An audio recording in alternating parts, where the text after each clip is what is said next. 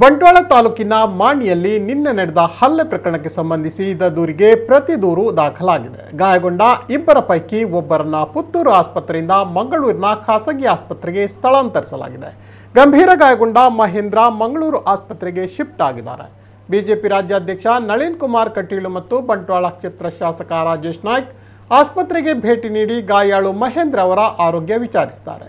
ಇದೇ ವೇಳೆ ಜಿಲ್ಲಾ ಪೊಲೀಸ್ ವರಿಷ್ಠಾಧಿಕಾರಿ ವಿಕ್ರಮ್ ಅಮಟ್ಟೆ ಅವರು ಕೂಡ ಇಬ್ಬರು ಗಾಯಾಳುಗಳು ಪುತ್ತೂರು ಆಸ್ಪತ್ರೆಯಲ್ಲಿದ್ದಾಗ ಅಲ್ಲಿಗೆ ಭೇಟಿ ನೀಡಿ ಮಾಹಿತಿಯನ್ನು ಪಡೆದುಕೊಂಡಿದ್ದರು. ನಿನ್ನೆ ಮಧ್ಯಾಹ್ನ ಮಾಣಿ ಎಂಬಲ್ಲಿ ಒಮ್ನಿ ಕಾರ್ನಲ್ಲಿ ಬಂದ ಕಾಂಗ್ರೆಸ್ ಕಾರ್ಯಕರ್ತರು ಸ್ಕೂಟರ್ನಲ್ಲಿ ಸಂಚರಿಸುತ್ತಿದ್ದಾಗ ಭಜರಂಗ ದಳದ ಕಾರ್ಯಕರ್ತ ಮಹೇಂದ್ರ ಎಂಬುವನಿಗೆ ಡಿಕ್ಕಿ ಹೊಡೆದು ಬಳಿಕ ಕಟ್ಟಿಗೆಯಿಂದ ಮಾರಣಾಂತಿಕವಾಗಿ ಹಲ್ಲೆ ನಡೆಸಲಾಗಿತ್ತು.